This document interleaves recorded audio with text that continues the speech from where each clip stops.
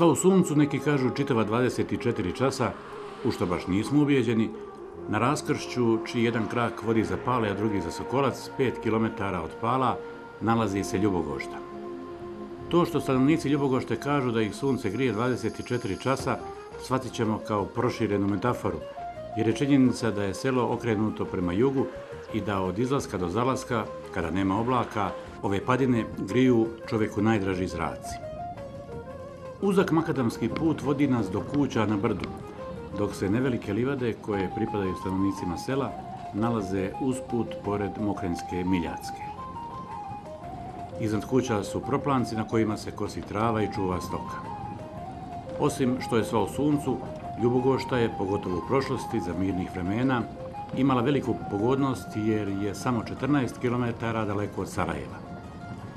Lakše je se bilo školovati, lako i brzo trgovati, nabavljati iz grada ono što se na selu nije moglo proizvesti.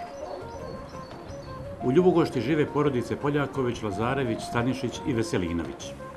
Čuvši da u selu živi baka Staka, koja je rođena na Trojičin dan prije stotinu godina, došli smo u porodicu Poljakovića. Staka je praktično živjela u četiri države, ne pomakavši se iz svoje kuće. Rodila se u Austro-Ugarskoj, djetinstvo i djevojaštvo provela u kraljevini SHS, odnosno kraljevini Jugoslaviji, zrelo doba u SFRJ, a starost u ovoj sadašnjoj državi. Gotovo svakodnevno ima goste. Obilazi je sadašnji načelnik opštine Pale, sa kojim voli da popriča, ali najdraži gosti su joj unuci koji već imaju svoju djecu. Svaki njihov dolazak zastakuje praznik, a takvih praznika u godinu je preko 300. Ona veli da je živjela i previše. Ne znam Boga, da nije sam ni volko što će mi. Ali fino izgledate. Eto. Pa do skoro sam odala i kako pa bilo radila sad da me više. Pa kažu da ste donedavno kupili sjeno i kupili šljive, jabuke. Sve, sve jabuke. Bog zna koliko sam donijela džaka, od krušaka, od dičke. Drva donijela, trave donijela, svašta. Do unazad dvije godine, jel? Je. Baka Staka dobro se sjeća stradanja Srba ovog kraja tokom drugog svjetskog rata. Priča nam o tome, ali i o Golgoti nakon 45. Boga mi svakako. Svakako i progolili nas svukud i svašta. Svašta bilo. Dede su progolili, ja sam bježala na Sokolac. Pa onda sam Sokolca pročirala me u Kupres šest mjeseci Djeco, šest mjeseci mira. Svakako. Samo eto, nije smo paljeni, nismo, živo je se ostalo.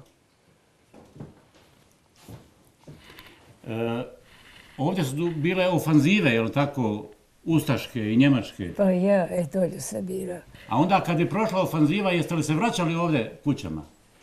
Koje se vrbi? Da. Jesmo se, mi smo se vratili to kad su, će da prođu, da mu objavili da će proći, da će paliti, da će biti svašta. Mi smo se sklonili. I ono kad je prošlo bilo, mi smo da poslije vratili se. Jeste li onda mogli ići u Sarajevo? Nismo. Nismo odmah, nismo odmah, nismo.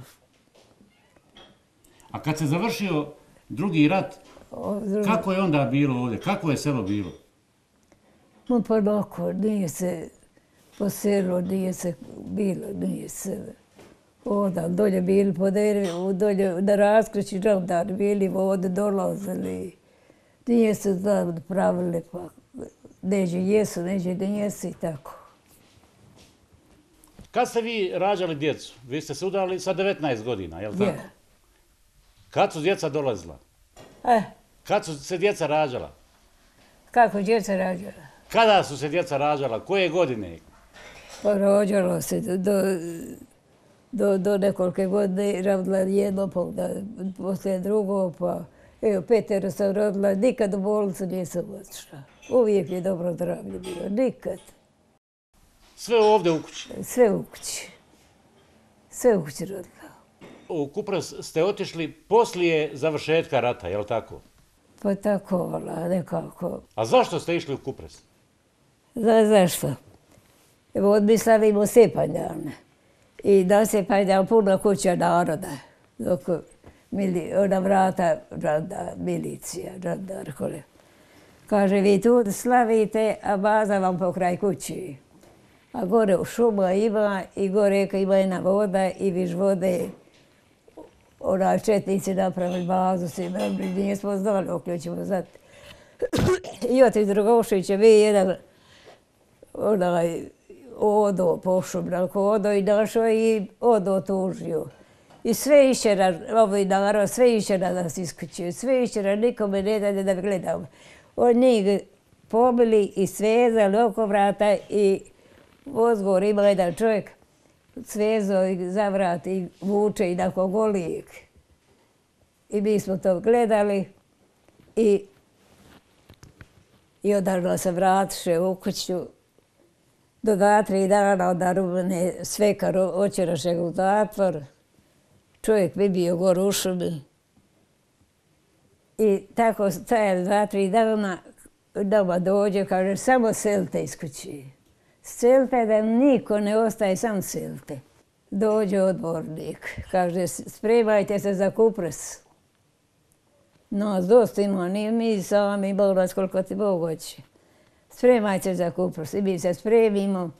Voz na stanci čeka i dolje šedemo u voz. Cijeli dan svi čekali u vozu. I šedemo i u kupres, dođemo u kupres, vodi baraka, Bog zna koliko, sve ko baraka, mladi pitomci odaju. Jer hoće nas opet sad u zatvor.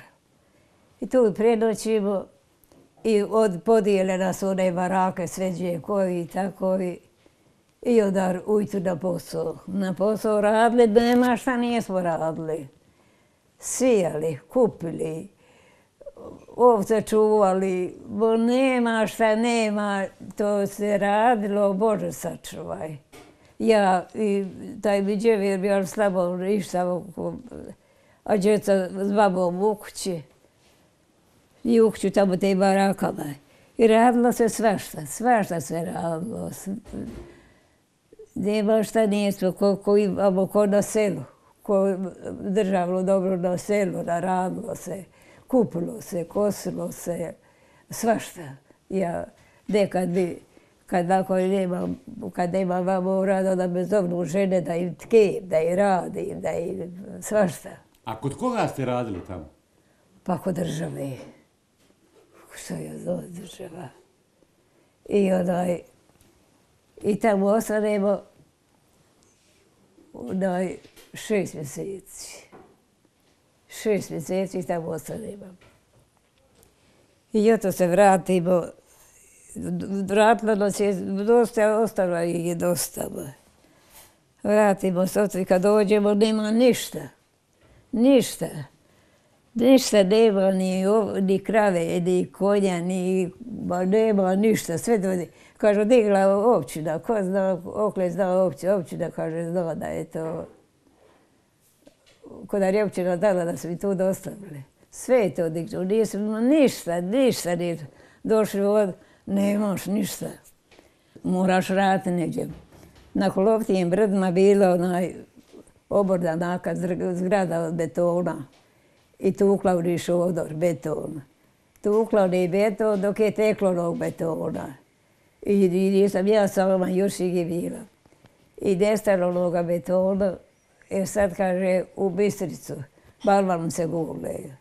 I onda sam išla u Bistricu, balvan je gula. I onda više bolestno da rukovi oslobodi, dođem svekar iz zatvora i tako pomalo nešto počeli smo i kup smo jednu kravu i tako predevera. I svakako se predeveralo, svakako. Radila sam. dok sam postala, kako sam volčna bila, radila sam. Uvijek. Uvijek, uvijek. I čuvala i odvijala i svašta.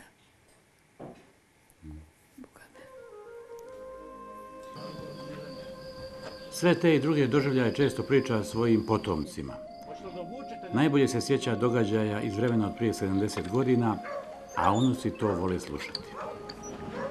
Zajedno sa mlađim bratom, pored roditelja, mi smo odrasli uz baku i baka je bila neko ko je naš zaštitnik za sve one naše dječje nestašluke, neko koji nam je to, neko ko je to nama pravdao, nalazi opravdanje da nas zaštiti od roditelja kad nešto skrivimo i tako uvijek su lijepa ta sjećanja i to je uglavnom ono što me prvo podsjeti na baku. Pored tog lijepog sjećanja tu su te sve priče koje je baka pričala o svom životu iz mladosti, iz tih teških ratnih i posljeratnih perioda. Ali eto, hvala Bogu, prije svega Božijom voljom, ona je pored svih tih golgota kroz koje je prošla, uspjela da doživi i da dočeka svoju stotu godinu, da dočeka 18. praunčadi i da sa nama zajedno dijeli svu tu radost tih lijepih trenutaka koje mi imamo i nadam se ako Bog da da ćemo ih još uvijek imati s njom dosta. Ona je rođena, tako bar ona kaže, na trojičin dan, pošto je to praznik koji šeta, vi praktično ne znate baš sigurno datum. Datum kroz dokumente je 12. maj 1918. kao datum njenog rođenja. Vjerovatno je tad i bio pravoslavni praznik Trojčidano te godine i ona to prizna kao datum rođenja, iako dokumenti kažu da je to 12. 12. maj. Ove godine taj praznik je krajem maja i mi ćemo na taj dan po njenoj želji obilježiti njenu stotu godišnicu. Meni su rekli da je ona do prije četiri godine kupila sjeno, a onda uz ovo brdo išla, vraćala se pješice i nije htjela da se vrati na traktoru. Tačno je to, ona je imala tu naviku iz svoje ranije mladosti kad god završi nešto od poslova u polju, uvijek se prema kući nosilo, da li to hrana za životinje ili hrana za ljude. I ta navika je nju e, držala sve do unazad dvije godine. Ona je čak odbijela da se iz polja vraća na traktoru, da sjedi na prikolici. Ona je radije voljela da uzme jednu vreću sjena ili trave, da stavi na rame i da uzbrdo dođe do kuće. Također, kad se voće bere u voćnjaku, ona je uvijek išla sa jednom vrećom na leđima do kuće. Nikad nije ostavljala da se ta vreća poveze sa, sa nekom, nekim traktorom i zapregom i ako se vozi, onda ona uzma još jednu vreću i nosi je kući na leđima. Blizina Sarajeva značila je i mogućnost trgovine prodaje prinosa od zemlje i stoke. 14 km do grada staka je najčešće prevaljivala na nogama noseći robu na pijacu. Ja sam dosla na leđ vodila drijednjaka, Bog zna koliko. I nosa brala, prodavala, nosili sa kubijera, sva što se nosilo, prodavala, ako je viška bila. Jeste li konje imali? A? Jeste imali konje? Jesu, jesu. Konje imali, volove imali, krave imali. Već kad smo proćerali nas, onda nešto u selo to cele. Kad smo prošli u Kuprec, ostalo nam i krave i volove i gorno nabaramo na, kod Lučića. Sve to odneš, ništa nismo došli kad smo se vratili, ništa. Staka ima i pravunuke. Neki od njih odrastaju na selu, puni životne energije, a prabaka uživa da je gleda u igri. Sada van kuće izlazi samo po suncu i sklanja se od vjetra. Zadržala je lijepe crte lica, baš kao što je lijepa i preslica na kojoj je donedavno radila. Živi sa sinom i njegovom porodicom dok je drugi nedaleko od nje. Novo je penzionisani grafičar koji je sa Skenderije izbjegao u Ljubogoštu i tu ostao. Ja sam zanatlija, ja sam radio u štampariji, grafičar. U svjetlosti u Sarajevu, jel? Jesu, svjetlost, štamparija, svjetlost, Sarajevo.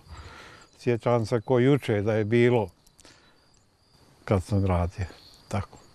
Doćemo mi do toga, ali e, pitam vas kako se sad živi s obzirom da se ovdje teško živjelo poslije drugog svjetskog rata.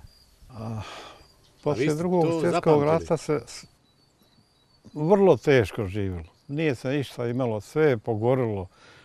Nisi imao odakle početi. Sad se relativno živi dobro jer u odnosu na ono vrijeme. Vi ste sad bili dječak, je li tako? Jes. Ja sam 39. godište, sjećam se i rata i, i Ustaša i Četnika i Partizana i, i Domobrana. Sjećam se svega. Bili ste u zbjegovima odavde kad, ste, kad se bježalo? Bježali smo mi na Romaniju u Sajice, pa smo bježali po Romaniji. Nema gdje nismo bježali.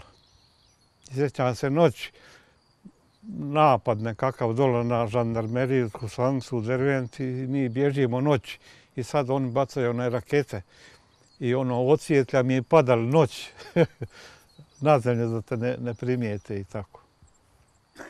I onda se ponovo vraćali ovdje? Opet se vratimo i tako.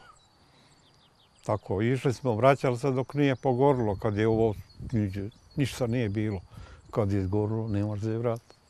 Baka nam je pričala o tome kako je išla na kupres, na taj, možemo reći, e, to je ovako, i prinudni rad. Jer poslije rata glavnu riječ je vodila Udba. Udba je bila svijest ja. Mi smo bili nepodobni, jer tako je to bilo. Dođu na veće četnici, daj da jede. Moraš da da jede. Dođu sutra pa dane, što si mi dao da jede, pa mora da kad imamo pušku. I tako. I bili smo, ne samo mi, bilo nas je puno, nismo bili podobni. I onda su nas spakovali kod Pala, prvo smo otišli na bare kod Pala, s bara smo otišli u Kupres, iz Kupresa u Rilić, iz Rilića, onda su razvojili one što mogu da rade i one što ne mogu da rade. Ja i moja baba i nas četvoro djece smo bili onda dalje protjerane u jedno selo kod Kupresa, zvalo se Zlo selo. To je selo spaljeno do temelja. Partizani su ga spalili 45. To je uh, hrvatsko selo bilo. Ostalo je, pričaju ni mještani, 40 udovica iza Usvaša. To je sablaz bilo. I nas su protjerali u jednu malu kućicu. I sve kuće poginuo je otac i sin kao Usaša, a mi smo došli kao Srbi od četnika protjerane. I bile male dvije prostorije, ono jednu nama dali, a jednu njima, a nisu nas zirali, oni znali su oni da smo mi Srbi, da smo radi četnika i tako, oni su Usaša. Bili su korektne prema nama. Vi ste tad imali koliko godina? Pa to je bilo negde 49. 50. Šta se imao, deseta godina. Jeste i vi radili? Nisam ja radio, nisam mogao raditi, šta ću raditi. I onda kad ste se vratili ovdje? Kad, kad smo se vratili ovdje, mi smo prije toga imali smo i konje, i volove, i ovce, i krave. Kad smo se vratili, nema ništa. To je to, jednostavno nestalo. Ko zna gdje je bilo. Tako nema. Onda počne sa nule. Tako. Kako ste se školovali onda? Išli ste u Sarajevo, je li tako, u školu? Eh, bila je ovdje u Dervenci, dole na Raskršću, osnovna škola, a upale sam išao u samogodišnju, pješo išao. I kad sam završio to, onda sam otišao u Sarajevo na Zanac, 56. I završio Zanac, u istom preduzeću sam se zaposlio, poslije vojske fotografio, tu sam radio, nije me niko dirao, tiče, bilo je i Hrvata, i Srba, i muslimana, i jevreja. Bilo je korektno, znaš, nije niko zazirao ni od čega, od, od neke gluposti. Ja nisam imao pretpostavljati kad će biti rat, kak je rat. Jedno od jedno. Ljudi koji su iz ovih e, naselja, sela oko Sarajeva pričali su mi da su dolazili u grad dole, da se sve dole moglo prodati, i drva, i povrća, i voća, i... Jeste vi to radili? Je li to vaša porodica radila? Uh. Radio mi je o, otac i djed. Oni su uh, gonili drva, gonili su sijeno, gonili su proizvode, ne znam, mliječne, oni tako, prodavali su dole. Jeste vi u Sarajevo živjeli ili ste... Ja sam živio u Sarajevo na Skenderiji, sam imao stan. Je li vam sad lijepo ovdje na selu? Pa meni je lijepo. Ja sam uvijek govorio, ako doživim penziju, ja ću se vratiti ovdje. Nešto šta ja znam, to mi je. Sad kad vidite unučiće, kad vidite ovu dječicu okolo, je li vidite sebe kao dječaka? Velika je tu razlika jer mi nismo imali vremena za igru. Nas uvijek našli neki posao, hajde ovo, de ono, de tako. Sad djeca ne rade ni blizu ono što smo mi radili. Njima je igra, ne znam, mobilni i tako, te stvari. Ja znam, po, tako, treba, ima ova rijeka, ova Miljacka, Mokranjska i sad, kad dođe nedelja, da idemo da se kupamo. Pa kaže, kućeš sad, pa je prošle nedelje bio od šopit. Ima li sad druženja po selu? Manje, daleko manje. Ovaj, vjerovatno je televizija i mediji to je učinilo svoje, jer se prije išlo na sjelo, ne znam, pa ovaj priča ono, onaj, ono, onaj, tako i to. Sad svaki ima u kući to i. Sad više znamo o svjetskim događajima nego o događajima u selu. Jel? Kaže, neko naš išao u Sarajevo i tako vratio se i sreo ga neko. Šta ima u čarši? Kaže, ne znam, dok ne dođem kući da pitan žena, on ne zna sve. to su najpouzdanije informacije bile. One znaju sve. ovdje iza nas je mljekar. E, I danas se ovdje pravi Je li tako, bijeli ja, mrs? Ja, prave, sir prave, kajmak i svako. Je li toga bilo o, kad ste bili dijete? Bilo je toga samo u većem obimu, veće. Znam, držali smo četiri krave i svako. Baba je držala. Sad drži jednu, dvije i tako. Dosta. Jer tada se živilo od toga, jer nije, bi, nije niko radio, nije bilo javnih radova, nije ni ništa. Tako je to. Ako si postio i ješćeš, nisi, pokosio, nema ništa. U Ljubogošti je idealno mjesto za pčelarenje. Kako rekao smo, prisojno mjesto, zaklonjeno od vjetrova, puno različitih trava, voćnjaka, šume i vode. Niko ovdje nije profesionalni pčelar, ali je unos meda uvijek dobar. Ipak, držanje stoke najvažnije posao u svakoj kući. Pa tako, svako ovdje ko je živio u prigradskom naselju, tako pomalo se bavi makom, ne, ne nekom velikom poljoprivredom, tako nešto. Svak drži nešto malo sitno, ima neki posao u palama, pretežno ljudi rade u palama, nešto malo radi i u, i u Sarajevu. Ali tako, mislim da je ovde neko mjesto dobro za života, da se nigdje ne, ne pomjera, da moraš fino da živiš i blizu si. Vaše selo je potpuno u suncu, cijel dan. Da, da. Od jutra do sutra, se kaže. 24 sata po suncu, zato smo ovde i malo bogati i s voćom i, ono što može ovdje, što taj planinski kraj.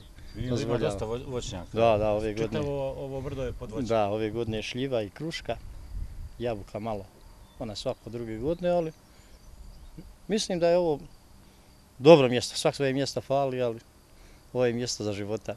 Malo vam ovaj put e, nije baš najbolji. Pa malo ćemo, valjda će malo i ti nadležni koji su sad u tim opštinama malo pogledati na nas, da se malo taj put... Kako je zimi doći ovdje? Pa zimi se, zimi se ovdje što nas ima mještana organizujemo, mi to održavamo, a izazluze nam i susreti ovi koji su zaduženi za čišćenje tih lokalnih seoskih puteva. Kad su malo veći snjegovi, tako da nemamo nekih problema što se tiče zimi.